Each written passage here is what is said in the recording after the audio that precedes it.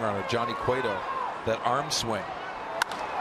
Driven to left field by Myers, down the line towards the corner. It is gone.